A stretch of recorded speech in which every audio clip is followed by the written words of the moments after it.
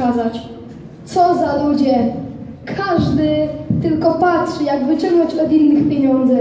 Słuchaj, ja już muszę lecieć. Obiecałem żonie, chociaż Wigilię przyjdę wcześniej. Daj spokój! Mamy na głowie sprawy ważniejsze niż Wigilia. Jesteśmy dzisiaj umówieni z naszymi holenderskimi kontrahentami. Gazeta świąteczna. Może pan? Może pan? Może pani? Nikt nie chce kupić gazety świątecznej.